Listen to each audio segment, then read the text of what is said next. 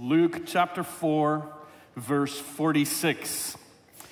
The people brought to Jesus all who had various kinds of sickness, and laying his hands on each one, he healed them. The word of God. Please be seated. A nice short scripture for a long sermon. We are in the sermon series called Be Well where we look at some of our Seventh day Adventist distinctive doctrines. We have 28 fundamental beliefs. These are beliefs that guide us as a church in our, uh, uh, in our belief, in our behavior, uh, and in our Christian walk with God.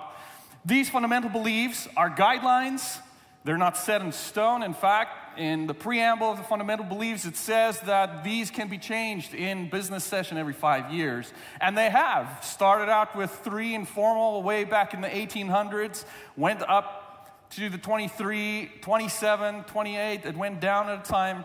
Right now we're at 28. So we're looking today at the distinctive um, fundamental belief about the health message. The health message. And I'm sure you're excited to be here for it. I don't know what your first, um, what first comes to your mind when I say Adventist health message. I'll, I'll just have you all say it out loud at the count of three. Just say what you think of that first comes to your mind when you word, hear the words Adventist health message. Ready? One, two, three. I heard haystacks. Okay. Lots of things. For many people, it is what we don't eat, what we don't drink, what we don't do, right? Although haystacks are pretty awesome. My first, um, my first interaction with the ministry of healing from Ellen G. White, one of the co founders of our church, was uh, in my first year of college. I did not actually go to college at first to study to become a pastor. I didn't know what I wanted to do, so I enrolled in the University of Stellenbosch in South Africa, where I'm from. Public university, 30,000 students there. I enrolled for computer science and psychology or something like that. I didn't, I didn't know what I wanted to do. So, uh, in the first couple of weeks, I was taking Psychology 101, uh, and it's a massive class with probably about four or 500 students in it, this amphitheater style kind of class that you see in movies. Um, and we were just going about our business. One of my friends, David Ings, uh, he was in class with me. He went to the University of Stellenbosch also happened to take Psychology 101, and out of 30,000 people, two people from a small school, Seventh Avenue School, in the same class. And so we would sit together, uh, take notes together, have class together. And um, the professor was going through psychology, various kinds of topics. And the one day he was talking about uh, hypnosis. And we thought that this was interesting.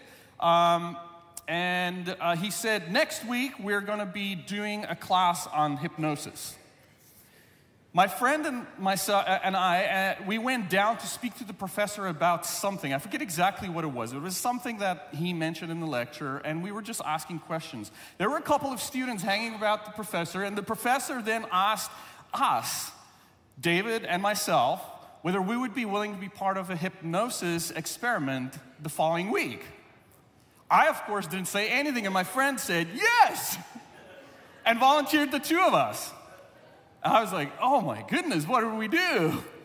My friend is English speaking, I'm Afrikaans speaking. This is an Afrikaans university, and as the professor talks to us, he says, Here's what I want you to do for next week.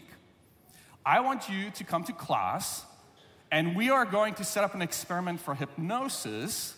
And at the time, we're not gonna really do hypnosis. But at the time that I call for people to volunteer to be part of the hypnosis experiment, would you two raise your hands? And we're like, ah, we see what's going on here. He's not going to do a real hypnosis experience. He's going to he's going to pretend the whole thing. Obviously, probably can't do it. So, so uh, my friend volunteered us, and because I'm Afrikaans speaking, the class is Afrikaans. I was the one chosen to be the person who's going to be hypnotized, put up my hand, and then do all kinds of things in front of 400 students in class. Meanwhile, my friend David, he'll be sitting in the back of the class somewhere and he's going to kind of be sleeping and somebody's going to wake him up in the middle of the lecture because the professor's going to say some people are so susceptible to hypnotism that some of, some of your classmates may be hypnotized now. And so david my friend is sitting in the back and he's going to pretend to be one of the people who happened to get hypnotized while i was being hypnotized. I don't know if you follow this story but it's really crazy. So um, the next week we go to class and i was super nervous about this the professor had walked me through all the different things are going to go, and so it happened. The professor said, Who wants to be hypnotized? And I put my hand up excitedly. um, and then he called random people. It's about half the class who was wanting to be hypnotized. I was like, Whoa. So uh, he eventually shows like 13, however many people. We went to the front, and then he started this act that we had gone through. It says, okay, I'm going to count from two, uh, you know, five to one. I'm going to do this. I'm going to do that. Then you need to put out of your hands, and then I'm going to say, drop your hands. And so I'm standing there, a line of like 12, 13 people, and he said, and he counts the whole thing, and we're all standing there. He's like five, four, three, two, one. Drop your hands, and everybody dropped their hands except me because I'm hypnotized. I'm like, okay, here we go. The show is on. And so we start going, and he says, Your arms are going to start getting heavy. And, and he was talking to the class, and I don't know, like the bio, you know, biology behind this. If you, put your, if you put your arms out like this, they're going to start getting heavy, right? Because of the blood. And I'm like, No, no. He's just standing there for this long time. Anyways, we went through a couple of things. He did regression therapy, which took me to when I was a child. He had me on the floor playing with my cars. Uh, and then I went and says, now you're in uh, second grade, go up to the blackboard and write your name. And so I had to write my name, Dewald, in like an eight-year-old kind of handwriting. Um, and that was it. And then we were done. Uh, my friend, you know, he acted and he woke up and he was hypnotized and all that kind of stuff. So that was it. You wonder why the Ministry of Healing by Ellen G. White comes into the picture. David and I we go back to Helderberg College where we lived, uh, uh, about 30 kilometers from Stellenbosch University. We, when we got home, we were immediately confronted by Mr. Hartweg, our woodworking teacher from high school, a German man, with the Ministry of Healing and photocopies of all the pages that Ellen White talked about hypnotism being bad. We were like, what is going on? How does he know that we were hypnotized in class? Maybe he's the one who should need the, the ministry of healing. Just knows these kind of things. Anyways, to make a long story short, what we didn't know is that his daughter was in the same class with us. So there were three of us from a small high school that went to this massive university and we're in Psychology 101. And his daughter let him know that Dewald, myself, and David got hypnotized in class today. And Mr. Hartweg was not very happy to hear that his woodworking students had been hypnotized because we are Seventh day Adventists. And the ministry of healing talks about the dangers of hypnotism.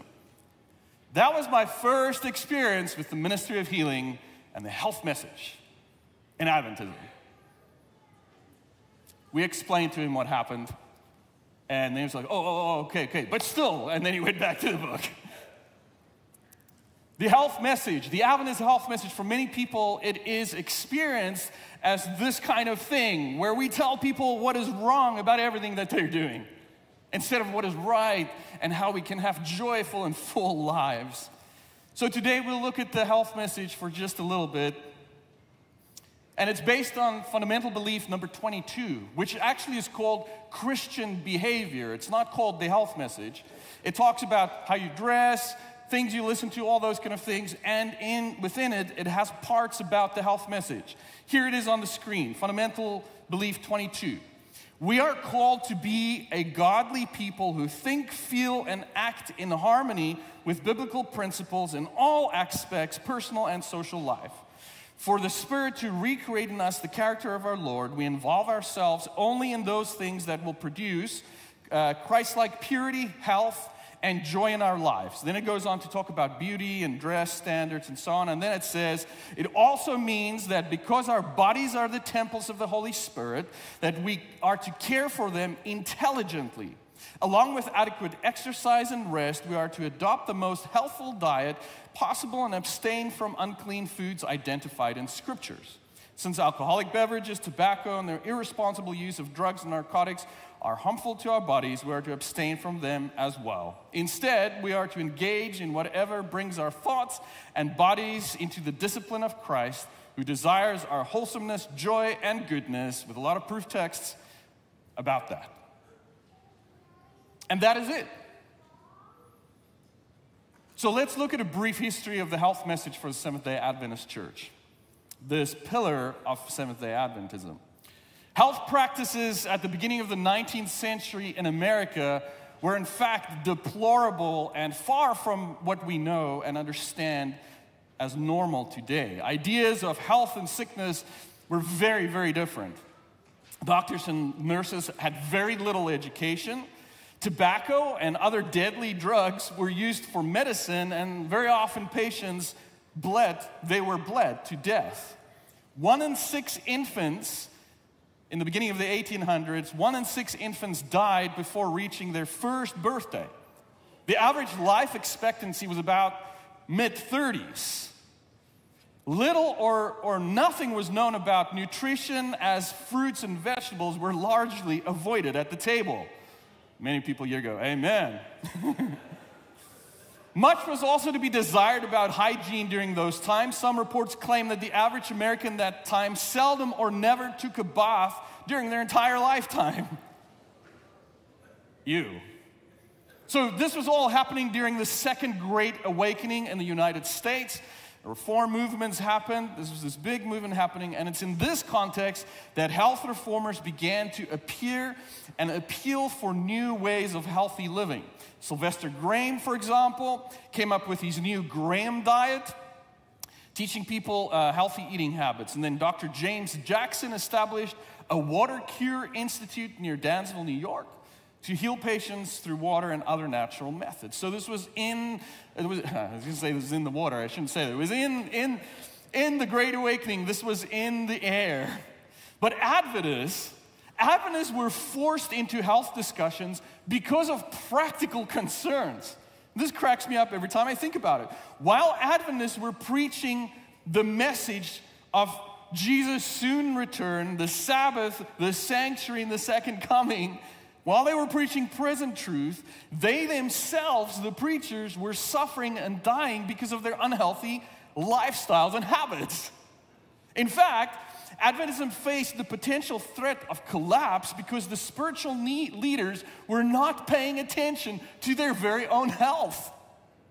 And so it is in this context that God reminded Adventists it was not them going to the Bible it was them because of their own experience with their ill health. It's in this context that the importance of the health message through a vision to Ellen White that she received uh, on June 9, 1863, just before the church was officially formed. And the message from God to her was simple Health is important if we want to preach the Advent message, and we must begin to pay attention to it. And this simple idea would turn Adventism around and transform the movement in gradually becoming a leading promoter of health and healthful living. And today, you and I are sit here in a Seventh day Adventist church as Seventh day Adventists because they paid attention to their health.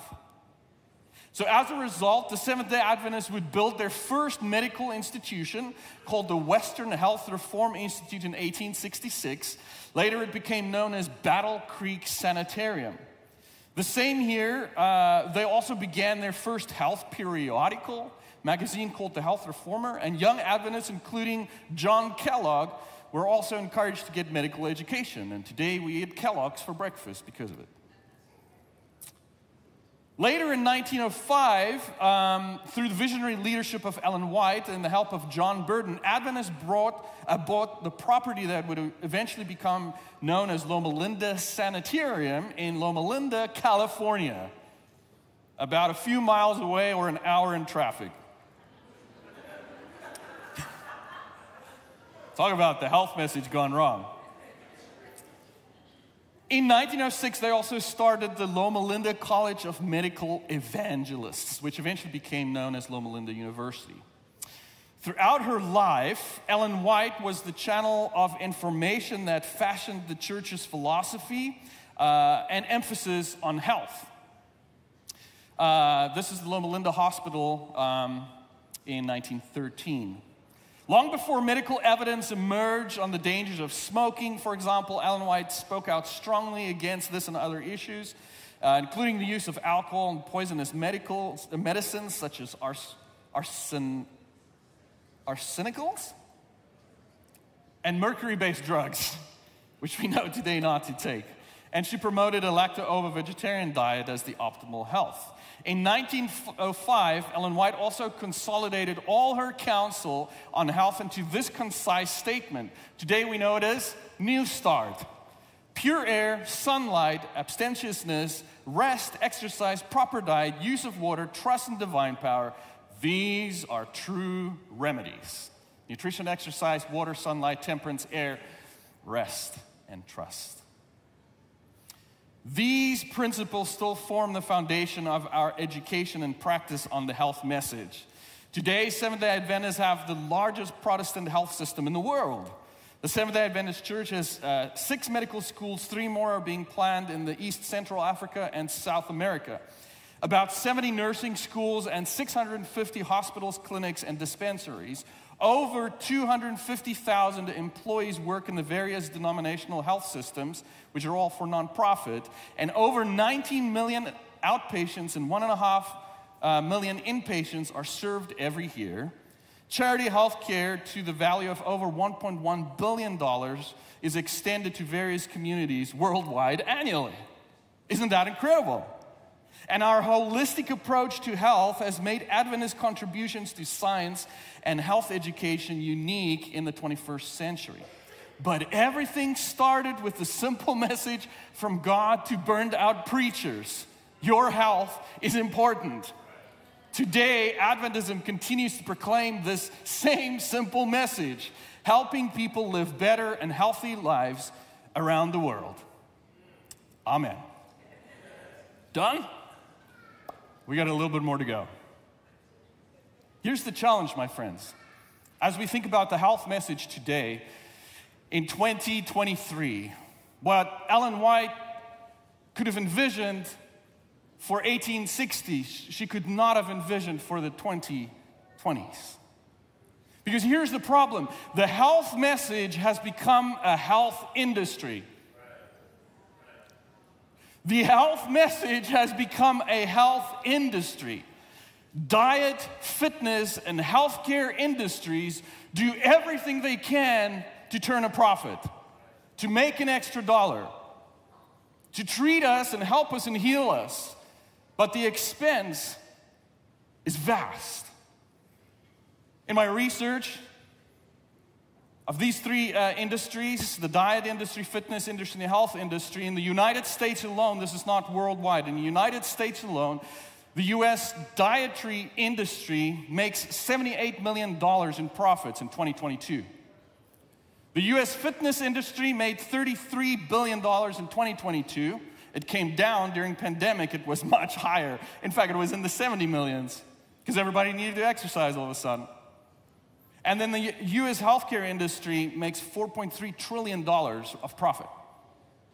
The problem that I see in 2023 that potentially Ellen White could not have envisioned when she was preaching about you all need to be healthy is that the health message has become a health industry.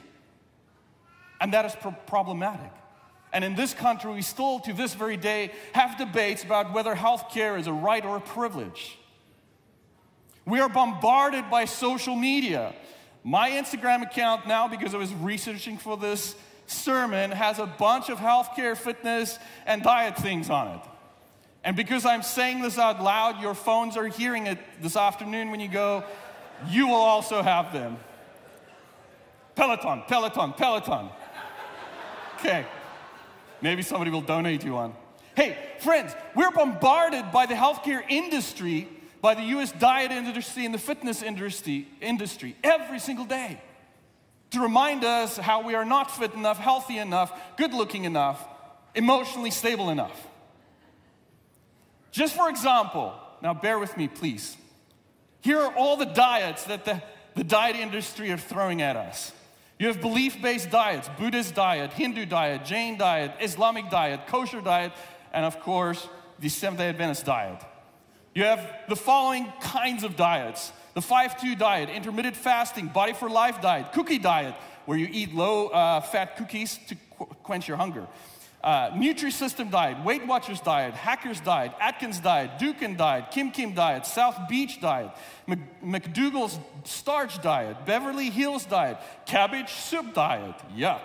Grapefruit diet, monotropic diet, Subway diet. We saw that guy eat Subway juice fasting, master cleanse diet, dash diet, diabetic diet, elemental diet, elim- elimination diet, gluten free diet, healthy kidney diet, keto diet, liquid diet, low FODMAP diet, soft diet, specific carbohydrate diet, bullet diet, drinking man's diet. Hampton's diet, Pioppi diet, protein power diet, sugar busters diet, zone diet, the four hour body diet, the F plan diet, rice diet, the good carbohydrate revolution diet, Cambridge diet, slim fast diet, detox diet. Shall I go on? The blood type diet, the cotton ball diet. I read up on this actually, wasted time doing it, but the idea this is a fad, by the way. You freeze cotton balls and then you eat them before you eat so that you feel full. Don't try this at home, I shouldn't have said that immune powder diet, werewolf diet, the call werewolf diet because you eat at times when the moon is out. Uh, fruitarian diet, lacto-vegetarian diet, ovo-vegetarian, octo-vegetarian, uh, uh, vegan, flexitarian, pescatarian, pol- pollotarianism where you eat chicken and then vegetables, kangatarian for people in kangaroo who eat only vegetable, you know, only fruits and vegetables and kangaroos.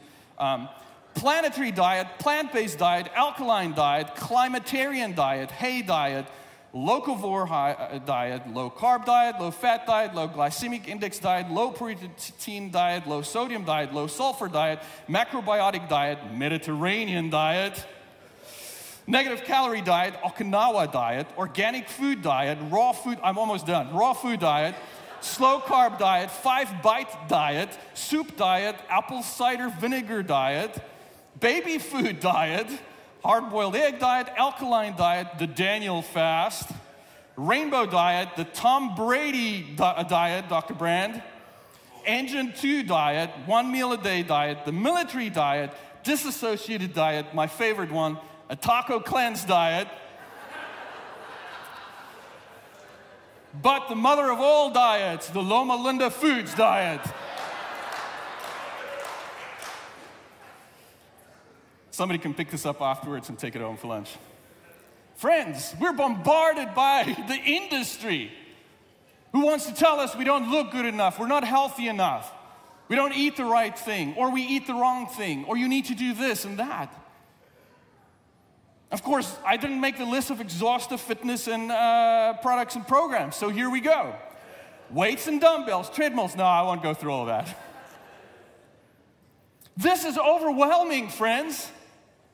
How do we choose between all of these things? How did we go from New Start and eight things to 260 plus diets that we need to choose from? You're a poor doctor. It's overwhelming, and while it, is, while it is good to have many options, sifting through all these options is impossible. And so it's a fun way to say something we all know, we have moved from the health message to the health industry. And we're all sucked into that vortex. It leaves most of us unhappy with the way we look, feel, think about ourselves, conduct ourselves, our mental, emotional, and physical health. And that is wrong. So, what does Jesus have to say about this? I don't think Jesus could have imagined the health message becoming a health industry. When we go back to our verse, Luke chapter 4, verse 46, the people brought to Jesus all who had various kinds of sickness, and laying his hands on each of them, he healed them. The question is, why did Jesus heal people? Jesus healed people more than he taught. Why did Jesus heal more than what he preached? Were they simply acts of compassion or demonstrations of his power or proof of his divinity? And to some extent, yes, those are all true, but that is not the primary reason. If we take one of Jesus' healings in Mark chapter 2 as a microcosm of all these healings, we remember the story of the paralytic man whose friends brought him to Jesus while Jesus was preaching in the house of someone. And they made their way through the crowds and they lowered their friend through the roof so that Jesus could heal them. And as they lower the man through the roof, Jesus doesn't focus on his paralysis, but Jesus says to the man, What? Son, your sins are your sins are forgiven. The religious leaders are scandalized. This is blasphemy. Only God can forgive sins. And then Jesus answered not simply with a statement, but with an action that demonstrated this statement your, sons are, uh, your sins are forgiven. After asking whether it was easier to tell the man his sins were forgiven or to tell him to get up and walk, Jesus said, But you may know that the Son of Man has authority on earth to forgive sins. I say to you, rise, take your mat, and go home. And here, Jesus' healing illustrates the power to forgive. And in a sense, this miracle is an enacted parable, and all of Jesus are enacted parable. Healings are enacted parables. It points to Jesus' power to bring total spiritual healing to the life. But at the same time, it is more than simply an illustration. It not only points to spiritual healing, but it is also the partial realization of total healing that Jesus brings. And that pointing function is the primary purpose of Jesus' healing ministry. Every healing points to, to the holistic healing. This connection between physical and spiritual healing comes to the fore in, in other ways in the gospel as well. Several times after Jesus heals someone, he tells the healed person, Go away, your faith has made you well. Go away, make your, uh, your faith has made you well. This happened to Bartimaeus, the woman uh, who was hemorrhaging for 12 years, and the Samaritan leper. All of them received the same good news Go, your faith has healed you. In Jesus' words, your faith has made you well. It's very difficult to translate, for, for the gospel writers seem to employ a, a, a word that is a play on words. The RSV translated it made well, but it actually has an even richer meaning of this. In a literal sense, made well means to rescue or to heal from disease, which is why we say be well at the end of our service every week.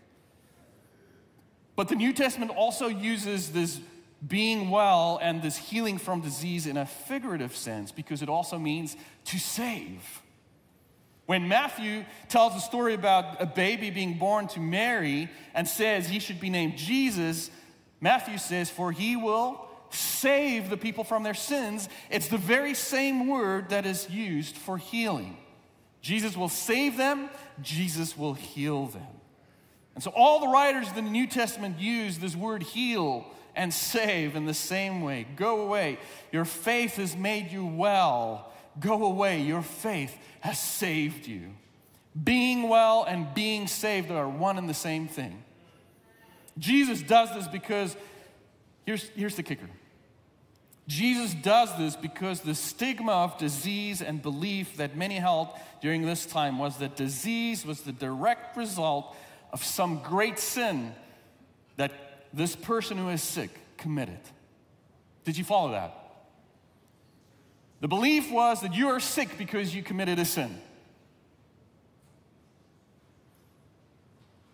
And the lepers, the blind, the infirm, the demon possessed, all the people who suffered from illness and disease were marginalized and ostracized and put outside of the community because of this dangerous and incorrect belief that your sins is what made you unwell. In fact, we see Jesus in John chapter 9. We see the story of a man that is um, born blind. He, he's blind from birth. And the religious leaders, the, the institution, they come and they say, Rabbi, who sinned, this man or his parents, that he was born blind? A poor infant that doesn't have any control, the religious leaders come and they say, Was it this man? Must have sinned in utero, right? Was it this man or was it his parents? And what does Jesus say? Neither. And then Jesus goes on to heal him and say, Your faith has made you well, has saved you. So we see there's a connection between healing and saving, and this is at the heart of the health message of Jesus.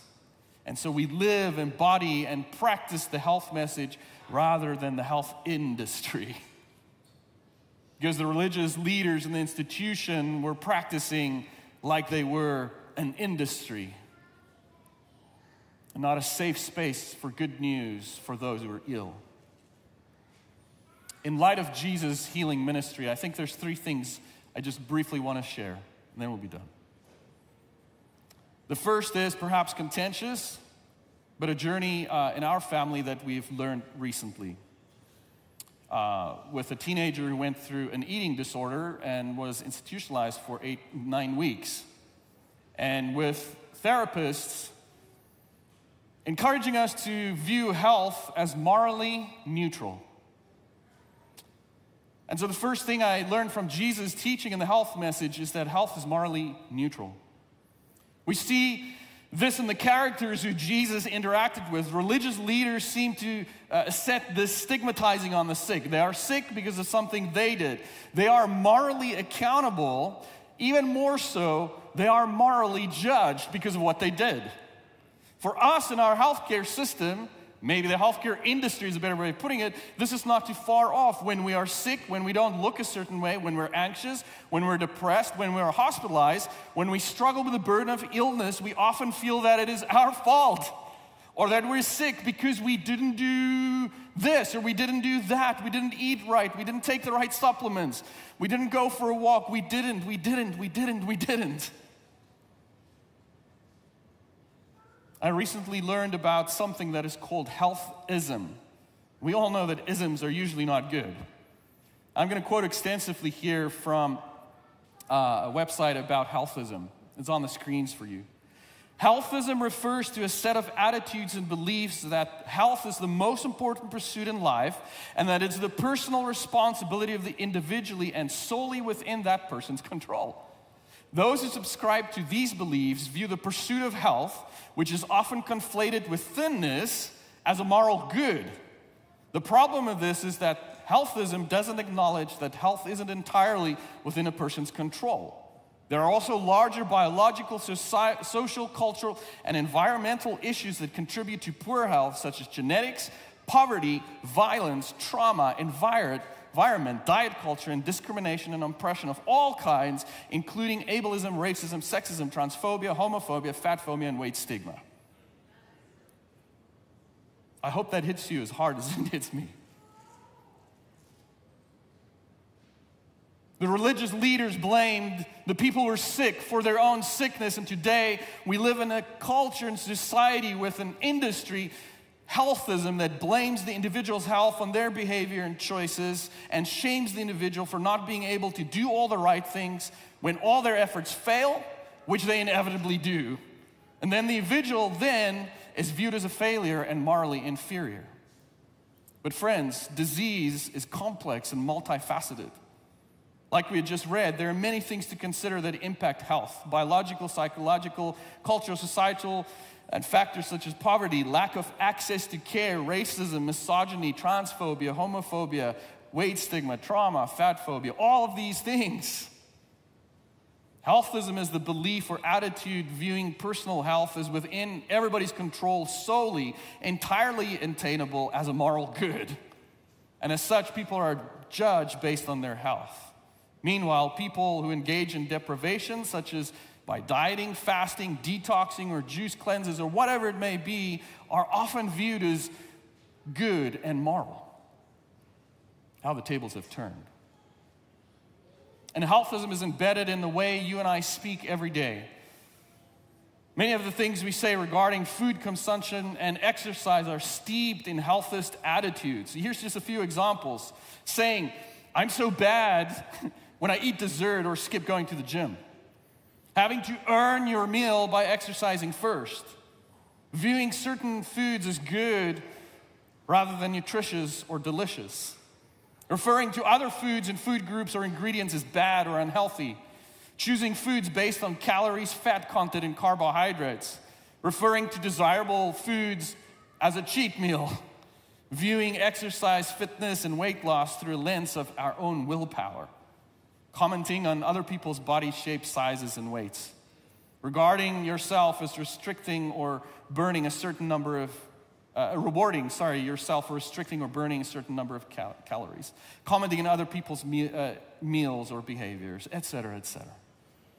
We have to fight against the idea that the health is a moral good or moral bad depending on your behavior. I believe health is morally neutral as Jesus in his healings breaks us free from the religious and cultural institutions and the cultural norms that judge people because of their ill health. Jesus says, Your sins are forgiven. And Jesus judges the very institutions that brings judgment on the sick. By the way, Ellen White has something to say about this as well. Here's a quote from her. When properly conducted, the health work is an entering wedge making a way for other truths to reach the heart. But while the health work has its place in the promulgation of the third angel's message, its advocates must not in any way strive to make it take the place of the health message, uh, of the gospel. The health message is important, but it is not the gospel. My friends, health is morally neutral. But here's the second point helping is not morally neutral. Health is morally, morally neutral, I believe, but helping is not morally neutral. Like I said in the scriptures, Jesus spends way more time healing people, two thirds, than what he's teaching. There are 26 healings recorded in the Gospels the healing of the mother of Peter's wife, the healing of the deaf mute at the Decapolis, the healing of the blind at birth, the healing of the paralytic at Bethsaida, the healing of the blind man at Bethsaida, the healing of blind man Bartimaeus, the healing of the centurion's servant, the healing of an infirm woman, healing the man with a withered hand, cleansing the one leper, then cleansing the ten lepers, healing a man with leprosy. Healing the bleeding woman, healing the paralytic at Capernaum, healing the Gennesaret, healing two blind men, healing the royal official's son, exorcising a boy possessed by a demon, exorcising the Canaanite woman's daughter, exorcising the Gerasenes demoniac, exercising at the synagogue in Capernaum, exorcising demons at sunset, and exorcising a mute man. And then Part of the healing ministry is Jesus resurrecting a young man from Nain, resurrecting the daughter of Jairus, and resurrecting Lazarus. If it is not clear from the Gospels, I say it again helping is not morally neutral because Jesus demonstrated us, God's own Son, that the healing ministry needs to be a gospel imperative. It is not the gospel, but it is a gospel imperative. And it demonstrates more than worship or prayer or Bible study or witness can our true conviction that God is God of all and that God heals. That is the ministry of healing.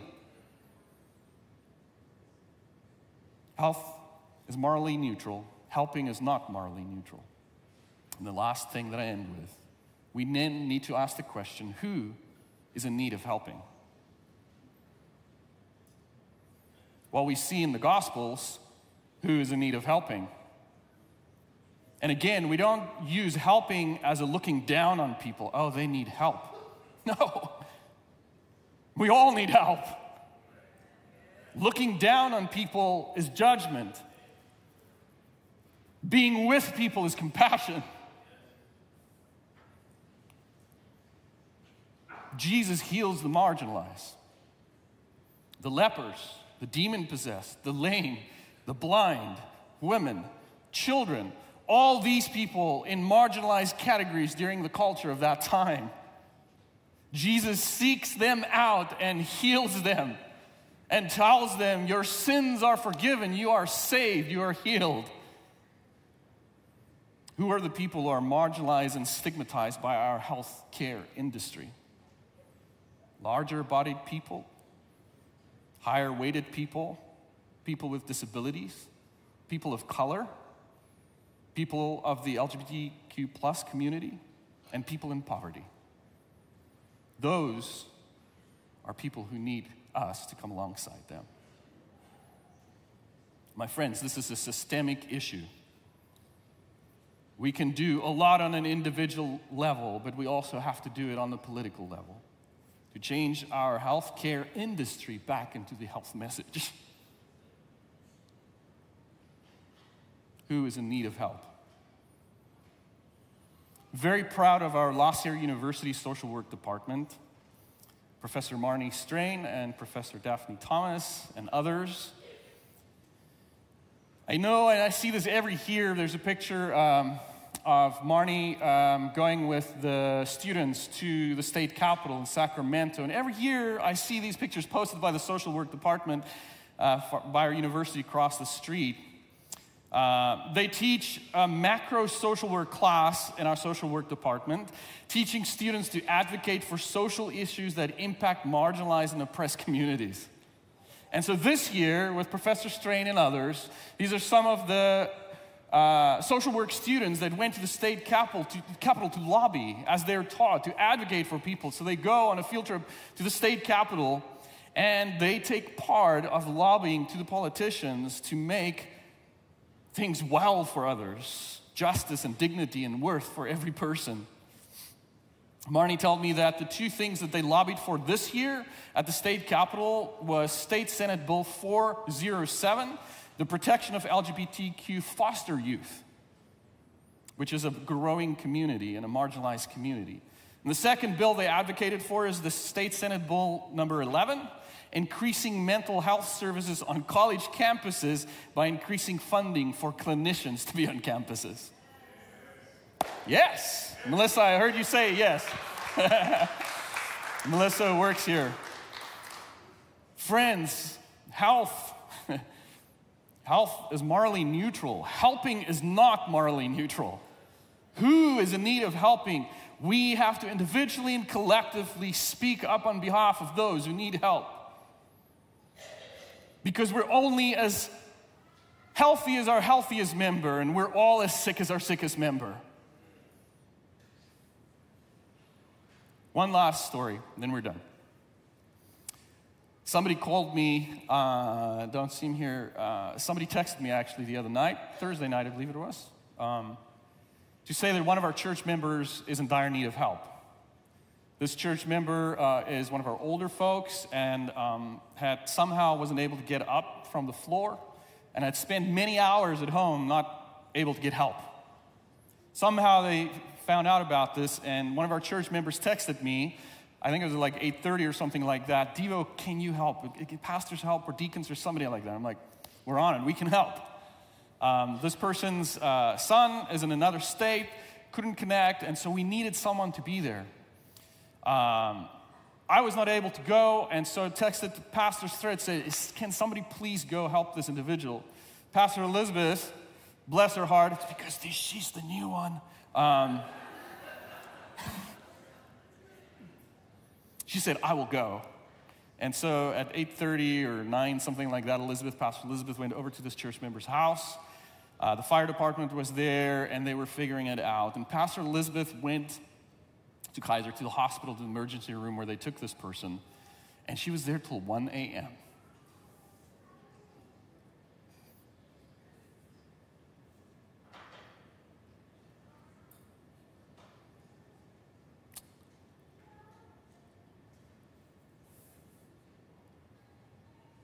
That's the health message.